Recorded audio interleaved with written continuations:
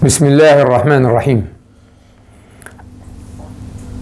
Əziz dinləyicilər, bu müraciətim təkcə müsəlmanlara yox, həmsinin qeyri-müsəlmanlaradır. Yəni, bizi dinləyən insanların hamısınadır bu müraciət. Biz müsəlmanlar Allaha və onun Rasuluna sallallahu aleyhi və səlləmə həmsinin imanın digər tələblərinə, Allahın nazil etdiyi kitablara, mələklərə, axirət gününə, qədərə, peyğəmbərlərə iman gətirmişik. Və biz inanırıq ki, həqiqətən də axirət günü olacaq, haqq hesaba çəkiləcək və insanlardan kimisi cənnətə, kimisi cəhənnəmə gedəcək. Lakin buna inanmayan insanlar da var. İnanmayan insanlara Peyğəmbərlər Allahın dəlillərini göstərərdilər ki, onlar iman gətirsin. Yəni, möcüzələr.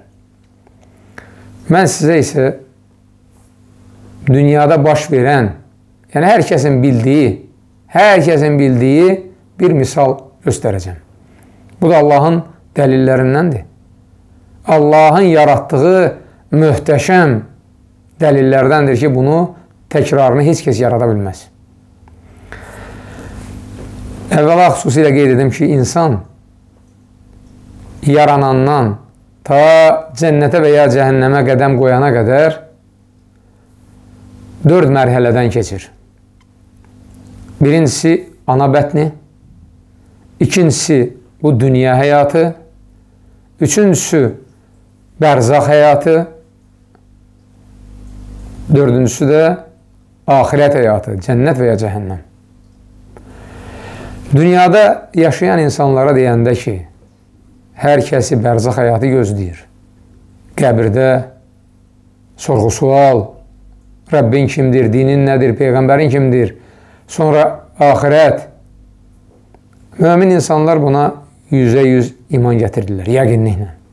Lakin inanmayanlar deyirlər ki, hə, boş şeydir bu həyatdan sonra aparıb harada bizi quyuluyurlar, quyulasınlar. Ondan sonra heç bir şey olan deyil.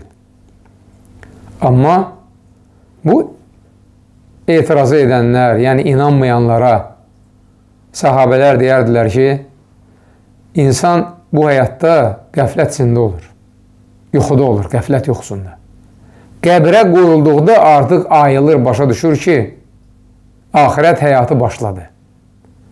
Hətta qəbrə qoyulmamışdan əvvəl Allah Subhanahu Quran-ı Kərimdə xəbər verir ki, onlardan birinə əcəl yetişdikdə ölüm ayağında, ölüm yatağında deyir ki, ey Rəbbim, məni bu həyata qaytar, yaxşı işlər görüm, iman gətirim, namaz qılım, oruç tutum.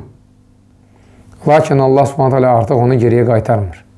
Onun vaxtı bitib, əcəli yetişib, bu həyatdan közüb gedir axirət həyatına inanmayanlara möhtəşəm bir misal çəkəcəm. Bunu həkimlərdən soruşsanız, həkimlər də təsdiqləyə bilər. Ana bətnində Allah subhanahu teala uşağa ağız və burun yaradır. Hamı bilir ki, bu ağız və burun nə üçündür? Bu dünyaya gələndən sonra ağızla adam yemək yeyir, burunla da nəfəs alır. Amma ana bətnində o aylar ərzində ki, körpə ananın bətnində özdə suyun içində olur, ağızla yemək yemir.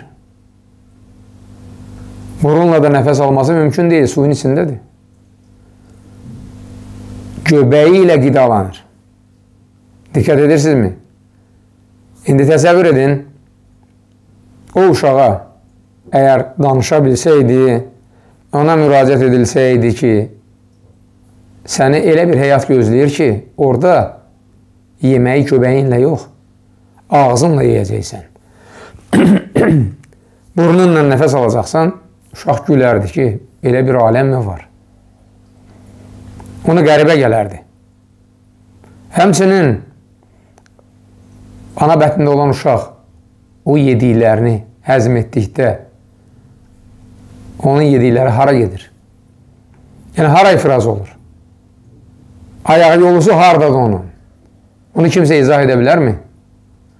Ona deyilsəydi ki, səni bu həyatda belə bir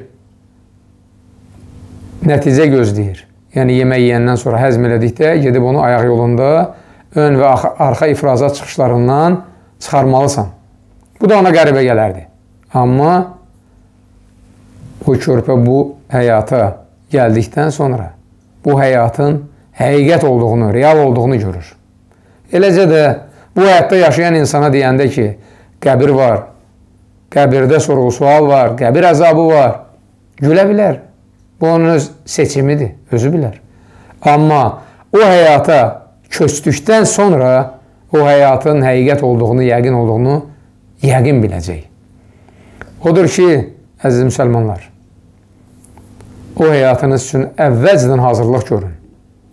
Sonra peşman olub deməyəsiniz ki, kaş bu günüm üçün əvvəlcədən hazırlıq görəydim.